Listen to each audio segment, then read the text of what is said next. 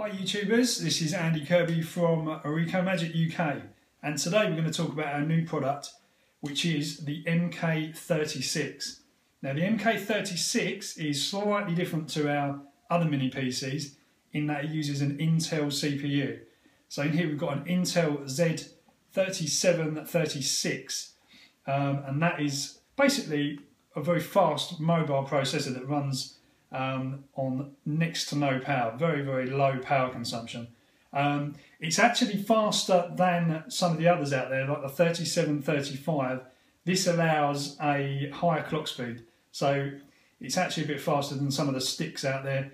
Um, you know, the reason why we can use the, the faster version is because we have a bigger box and it dissipates heat a lot better. There's no fan in here, it's still fanless, so much like our other boxes, like the ARM-based um, MK8, MK902 2 and V5. You know, those are very, very powerful um, and you know very, very low power consumption devices.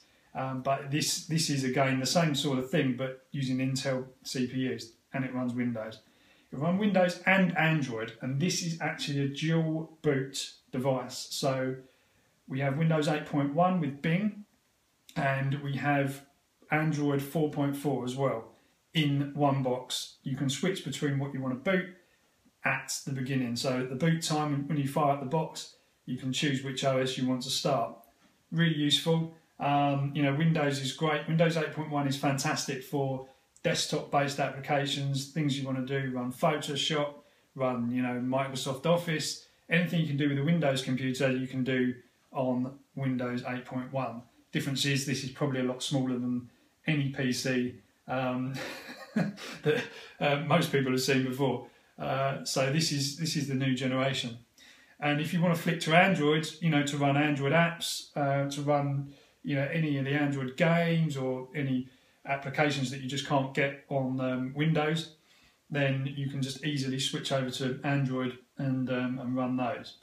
Now the box itself, um, as I mentioned before, it's got some good heat um, dissipation um, properties. So the whole of the bottom box is actually metallic, which helps you know to um, to dissipate heat. Um, and you know we've done some rigorous testing on this because we found that with the um, with with the other devices, some of the other um, Z3735 based devices, they get really hot, and that scales back. When they get too hot, they scale back performance, and uh, it's what you don't want when you're when you're trying to you know, run a, run a game or run something demanding on these boxes. Um, so yeah, we've, we've done quite a lot of work to make sure that you know our, our temperature control is, is, is perfect on this. And I'll show you the back of it. We've got so we've got our little um, security lock lock-in clip there. So if you're putting this in a in an outside environment where the public might have easy grab reach of it, you can um, you can lock it down. Uh, basically, you've got um, a uh, micro SD card uh, slot there, two USB 2.0 ports, HDMI, Ethernet, your power DC input there. Turn it around to the side, you've also got two more USB 2.0 ports, um, which is great because if you've ever tried, um, you know, doing anything on on these uh, on the sticks and all these other devices, you find you quickly run out of USB ports. Um, you don't realise how many you actually need if you're doing anything um, you know, doing anything more than just browsing the web. So we've got those two there as well. 3.5 millimeter um, audio jack as well, really useful um, for you know plugging in headphones. Your audio will still come out of the HDMI um, socket on the back digitally, um, but it also just gives you another another way of getting audio out of the box itself. So there it is. It's very very light, um, not too light, um, to feel like it's like it's got nothing inside.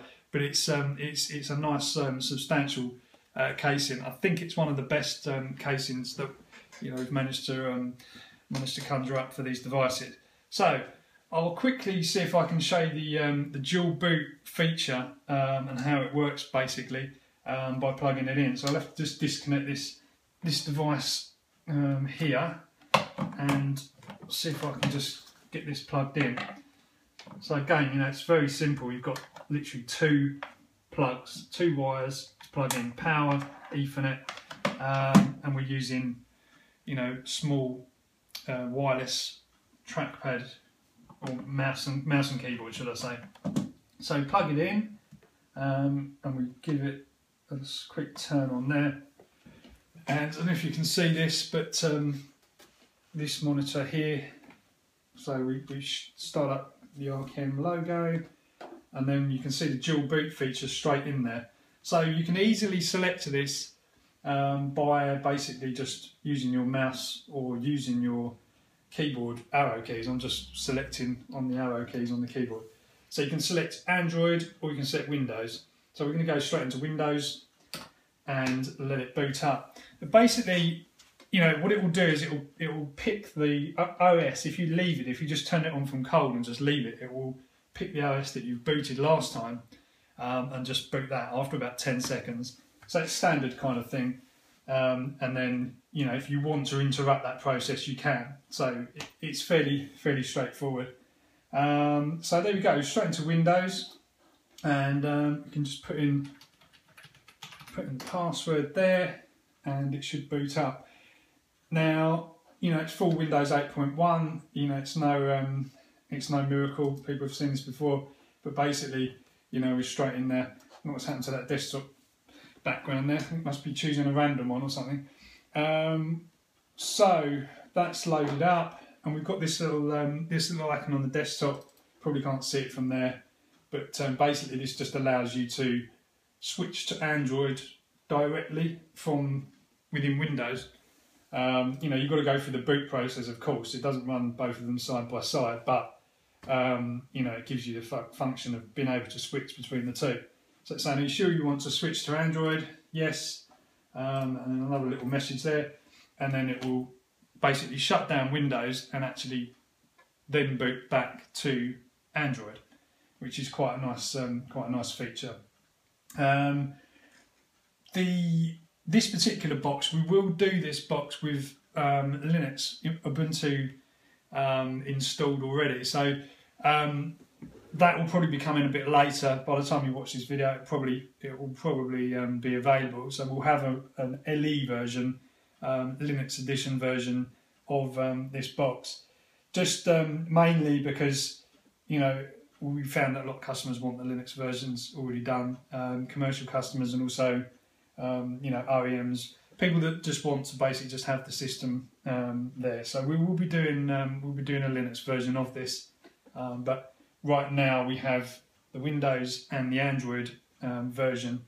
Um, you know, it's, it's, it's great to be able to have Windows and Android. You see, Android's just booted there, um, so that's that's straight in. Um, it's great to be able to have both of those different options. Windows runs a lot of applications, as I said before, and so you know, um, having Android, having Windows and Android gives you the best of, of both worlds, and they both run absolutely slick. I mean, it is it's very very smooth. Um, mainly just due to um, due to the Intel um, CPUs and stuff. You know the way they have um, a lot of good already um, baseline support for GPU and everything else. So there you go. There's the MK36 um, Windows and Android version. It's available now. You can order directly from Cloudsto, which is the sort of European outlet for um, uh, for Rikomagic, or you can order anywhere else online. But basically, there you go. That is the MK36. Thanks for watching.